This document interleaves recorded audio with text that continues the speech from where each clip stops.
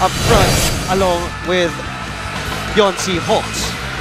Same uh, starting uh, Aerial Voyager versus the Defense Minister Vergel Meneses versus Jericho Diniera. And these two teams also faced each other as Raniel Vilor. But dito, syempre, ang uh, Arellano hoping to turn things around dito sa ating season Abdul 92. Wahab, Abdul Wahab, Abdul Razak, not really. Una natin to, De La Virgen over to Abdul Wahab, Abdul Razak. Pero hindi magandang decision yung ginawa ni Tay Tay Gijo. Viloria, the spin. Hinanap si Lervin Flores against a taller Abdul Wahab, Abdul Razak. Langan ni 14 Abdul Wahab. Bola. Sinugod ni Chodoro si Don si Holtz. Oo, eh, binalik sa kanya yung bola eh. Lalon. Umatake si Viloria, nahanap at dyan magaling yung Lervin Flores. Napakalalim yung mga dukot sa ilang. Ito yung drive ni Viloria.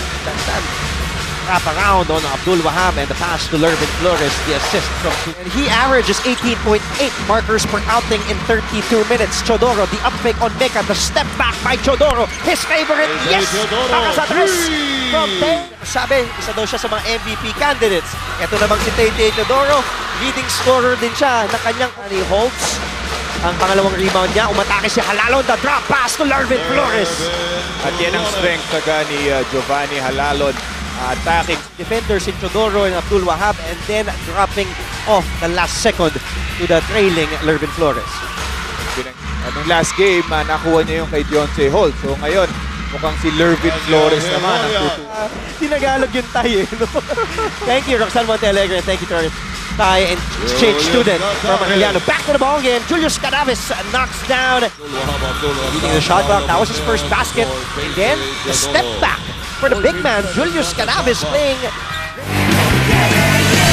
Hello, good afternoon. Or in Thai, na binanggit natin kanina. Hello in Thai is Sawadee ka. Good afternoon again. All our viewers as Salado just like that on, on a high-speed mode. Native of again, De Oro. That is really impressing uh, the JRU community. Asalado again. Talagang iniikutan ng depensa ng JRU. talagang uh, straight to the basket. Wala man lang uh, tumigil sa kanya. Uh, no help. At four, with four points. Salado. Kontra kay Pontejos. He feels he has the mismatch. Inatake ni Salado si Pontejos. At kahit tumulong si Abdul Wahab, Salado Gustong uh, pagtuunan ng pansin ni Coach Morelli si depensa ng GRU at makikita natin doon kung paano uh, inatak. Talking about Pontejos at Tete Teodoro. Oh! Libre-libre si Abdul Wahab. Ganda ng pasa. Uh, Arellano, ay sorry, Jerry should do a good job of staying in front of their men and protecting that paint. Despite that, down by 10. Oh, what they need uh, are stops.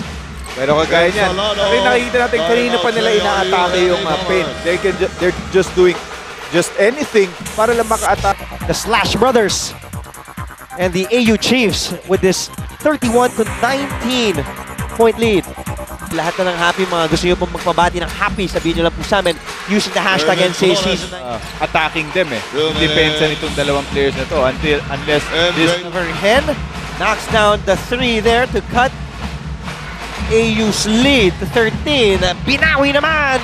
And they force Jerry to commit a turnover. This will be a slam from Lervin Flores. Ayan, pinapakita na tayo ni Lervin Flores kung na talaga maitutulong niya dito. Another turnover will lead to another easy two and fast break for Arellano. NCAA fans, ang nangyayari nga in between the first and the second round. At dahil patapos na nga tayo, And see Lervin Flores has one more playing year next year, ah. Tos. Here's Gumaru, and he sticks it for the first one. Si Ariel Aguilar ni Coach Jerry Codiniera. Here's Nichols for three. Yes! Para sa tres! Specialty of the house from the field Canadian gunslinger. And that's uh, Nichols' uh, role dito sa koponan ni Coach. Fourth quarter now with the steal. Naagaw naman ni Gumaru. Libreng-libre si Giovanni Halalon for an easy two. Team in uh, points at 18.8 also. Ooh, and Halalon count the basket plus the foul. Ilista mo na para kay Giovanni Halalon. To. Halalon will head to the line. Pucci nilabas na and there is Jet Talavera. So all Uh, for the first time dun nung first quarter. Kaya uh, he has only played actually 23 minutes lang. 24-point lead under 4 to play. Hindi ka kumagawan, bagsak. Si Viloria doon, tumuloy-tuloy naman si Zamora. Kenneth Zamora his first two points of this game. So lahat na ng players ni Coach Jerry uh, Cobiñan really James Astilla.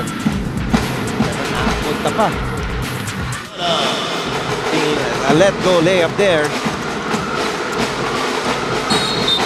Alalon gets a foul on Salaveria.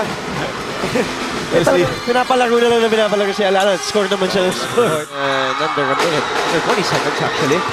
Kyle Mega there. at number one spot. But because of this win, eh, number two na ngayon. Tied for number two na ang Arellano. An 89-69 win. Be right back to wrap things up.